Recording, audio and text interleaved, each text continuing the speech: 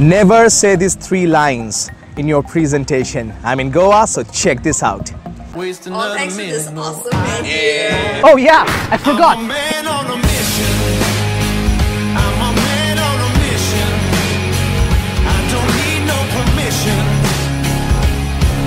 I'm a man. wow, I learned quite a lot. I could understand, I learned, and I could see the difference. You know.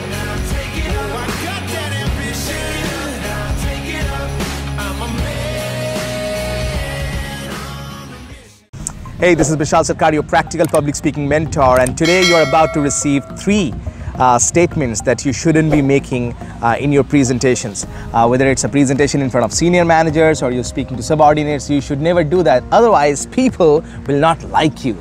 So, what are those three statements? Number one, never say, I'm nervous.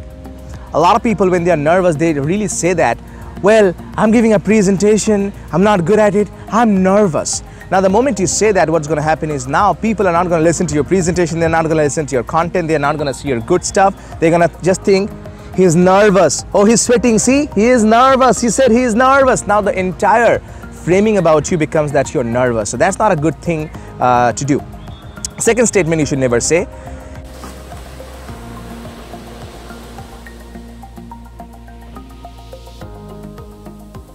second statement you should never say is you are wrong right now an audience member might say well i think this and if you say but you're wrong the moment you say that whether he's a senior manager like i said or a junior if you make the audience feel wrong now nobody else is going to raise their question raise their hand for questions nobody else is going to make their point because they think they might think well if i say something um, he'll call me wrong in front of everybody because that's what he did to the last guy. I don't want to be wrong, so I'll not say anything, I'll not engage. You don't want that. Okay, so that's the second statement. The third statement you should never use in a presentation. Ready? Is any questions? Any questions? Right? A lot of people do that. Eh? They are done, and then in the end they say, okay, any questions? No question? Okay. Right? Well, there is a difference. You know, if you study persuasion and if you read, study any any of the things by Robert Cialdini, Influence and Art of Persuasion, the you know they talk a lot about open-ended questions and closed-ended questions. So, when you say any question, that's a closed-ended question, basically, which means that you're expecting a yes or no. So 50-50, any question.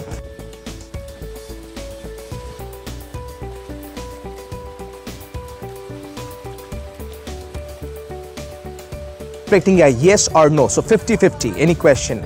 If you really want questions from people, whether from your kids, whether from your team members, whether from your clients, don't say any questions, say, so that's all I have. Now, before we wrap up the thing, in the next five minutes, I have time for three questions. So, hey, what questions do you have?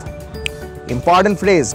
What questions do you have? Now that's something you can say. So don't say any questions, say what questions do you have? So these are three things that you gotta avoid. Number one, don't say I'm nervous. Number two, don't say you're wrong. And don't say that any questions, right? Don't say that. Anyways, I hope you're having an amazing time, having a great time in Goa. Uh, just had some, some great breakfast right now. Yeah, it's hot in here, man. And you know, a lot of beautiful things to see here. Uh, and, and I hope that uh, uh, someday we get to meet. And uh, you know, if you are interested in coming to the Confident Speaker Conference, if you already have book ticket, awesome. Um, I was having a conversation with the members of the Balanced Life Mastermind um, day before yesterday before coming to Goa, and we were, you know, I was teaching them something about uh, influence and persuasion and how to persuade yourself to have a big life. But it's amazing, man. I hope you're having amazing time. Bishal Sarkar here, always reminding you that confidence is not about perfection; it's all about connection. I'm a man on a